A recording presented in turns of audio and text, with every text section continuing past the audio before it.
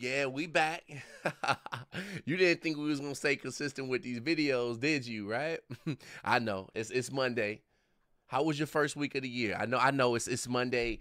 I know maybe you you know you, you're doing a real good job. You're consistent on these New Year's resolutions. You got new goals. You're working for a promotion.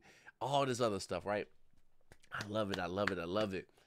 But as we progress, we have to always remind ourselves how do we continue to stay motivated on this journey of greatness and progression, right? And and something I want to kind of touch on real quick is faith. Right? Faith. I don't think there's anyone in this lifetime that can continue to reach monuments of greatness and success without faith. So having faith in God, having faith in your capabilities in life, believe in yourself, believe that you are capable and enough to get the job done. Because I always say to everyone, no one will believe that you are capable until you believe in self.